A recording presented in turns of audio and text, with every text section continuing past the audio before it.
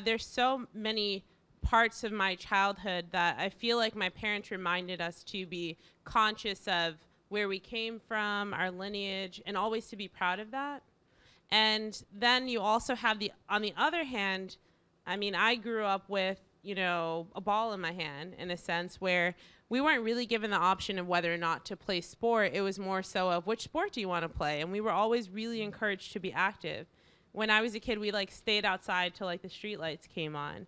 So there was this um, importance put on not just being active, um, but also, you know, being healthy in a sense.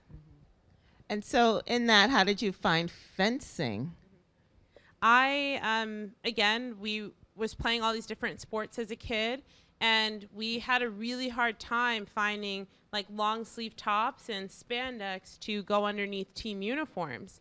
And I remember um, from a really early age spending a lot of time in like models with my mom being like no that doesn't match or like no that doesn't fit and um, we happened to be at a stoplight in my hometown in maplewood new jersey and we saw fencing in the in the local high school and at the time we weren't familiar with the sport but we saw that the athletes had on long jackets and long pants so my mom's like i don't know what it is but i want you to try it out and that's how so great. Yeah, that's how I I started fencing. I my mom signed me up for a lesson. She, you know, is so resourceful. She found this this fencing club, um, which really turned out not to be a club. It was this guy's garage, and uh, he was like, you know, the maestro or like the the premier coach in our town.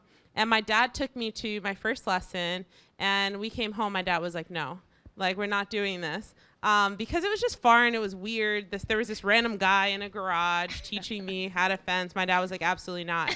But I, um, you know, also being resourceful like my mom, went online and I googled like you know the top ten schools in the country and they all had fencing teams. I'm from a really large family. I'm one of five kids. Uh, my, as you'll read in the book, um, my dad's a retired drug detective. My mom's a retired teacher. I had to be resourceful with how to pay for school. So I um, saw the top 10 schools had fencing teams, and I was like, oh, yeah, I'm doing this. Mm-hmm. So it was just really a means to an end in the beginning. Wow.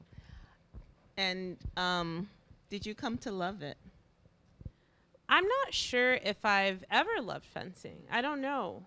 That I get that question a lot, and I can't say that I've ever loved it. Mm-hmm. There, there are parts about the sport that I've that I've grown an affinity for, and for me, I've always been really drawn to the people I was, you know, head over heels for my high school fencing team.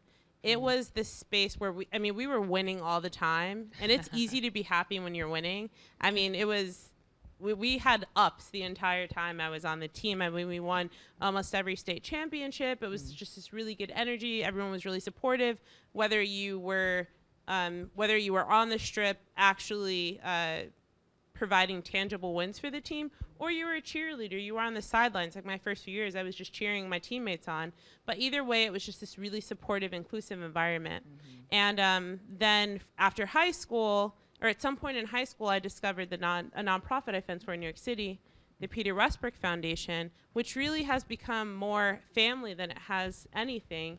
And a lot of that has to do with um, just the nurturing environment it has created. Mm-hmm. I discovered the foundation at 16. Someone told me that there were black people who fenced here in New York City. And I was like, that's offensive. But I yeah. Googled it and mm-hmm. found them. Um, and that's how I joined the, the Peter Westbrook Foundation. It was, it was really uh, out of necessity. I mm-hmm. feel like I needed to be around people who look like me in order to grow in the sport. It's mm-hmm. hard to feel to have that sensation of being ostracized and being labeled as different mm-hmm. uh, day in and day out.